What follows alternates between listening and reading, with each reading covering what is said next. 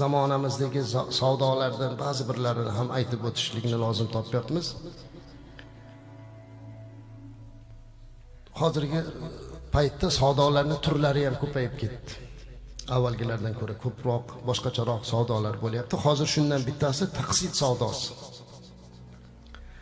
Taqsid so'zi lug'atda bo'lib bo'lib to'lash degan ma'noni beradi.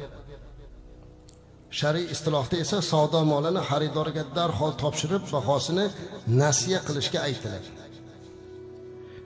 Masalan bir kishi o'n mingga mashina sotib oldida ustiga yigirma foiz qo'yib o'n ikki mingga ma'lum bir muddatga nasiyaga sotishi joiz bo'ladi.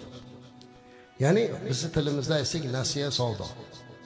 Nasiya savdo. Mana shu taqsid buni e, bizni mazhab ulamolari hammalari to'rov mazhab ulamolari ham aslida buni halol sanaganlar xususan e, zamonamizning yetuk ulamolaridan shayx muhammad taqiy usmoniy hafizaulloh aytadilarki to'rtta mazhab imomlari va fuqaholar muhaddislar jumhur nasiyani naqdini bahosidan qimmatroq sotish savdosiga ijozat berganlar.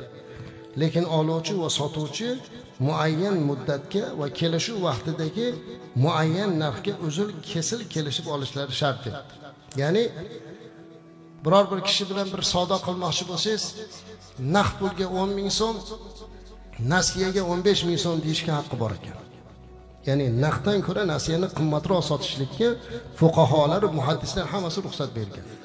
Lekin sharti beradigan muddati ham aniq bo'lsin mablag'i ham aniq bo'lsin. Aniq kunlarini belgilab olingan holatda qilish kerak. Nasiya qilib orada oylarini har xil qilmasin masalan mana shu kuni berasiz yoki shu kundan berishni boshlaysiz mana shuncha berasiz. Ana o'shani qilsagina unga aytilingan savdosi durust bo'ladi. Nasiyaga olsa qimmatroq naftga olsa arzonroq qilsa savdo harom bo'lib qolmas ekan. Chunki bu tabiiy narsa pulni o'sib turishligi o'zgarib turishligi e'tiboridan dinimiz hech kimga zarar qilishlikni xohlamaydi.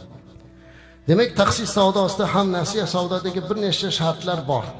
Ya'ni nasiya savdoni muddati aniq bo'lishi kerak nasiyaga sotilgan mahsulotlarni narxi aniq bo'lishi kerak xaridor qarzini kelishilgan vaqtda uza olmasdan yana qo'shimcha narx ya'ni buni bizni tilimizda jarima qo'yilmasligi kerak.